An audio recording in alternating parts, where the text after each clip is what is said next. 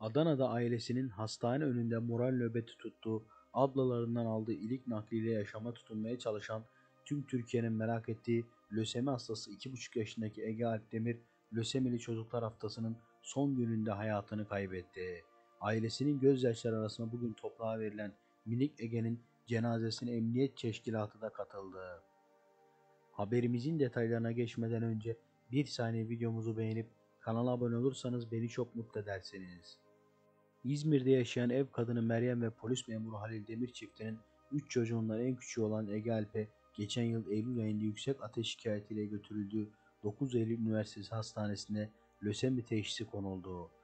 Tedavi için Adana'da özel bir hastaneye getirilen Ege Alpdemir kemoterapi aldığı tedavisinin 3. ayında yoğun bakıma kaldırılırken bu süreçte iki kez kalbi durdu. Nakil süreci tamamlanan ve hastanede tedavisi süren Ege Alpdemir, lösemili çocuklar haftasının son gününde yaşamını yitirdi. Minik Ege'nin cenazesi bugün ailesi ve sevenlerinin yanı sıra Adana Emniyet Müdürü Doğan İnci ve polis teşkilatının da katılımıyla Akkapı mezarlığında toprağa verildi. Ege'nin yakınları cenazede uzun süre gözyaşı döktü. Şimdilik videomuzun burada sonuna geldik. Gündeme dair gelişmelerden anında haberdar olmak istiyorsanız aşağıdan kanalıma abone olup bildirimleri açabilirsiniz. Renkli sayfalar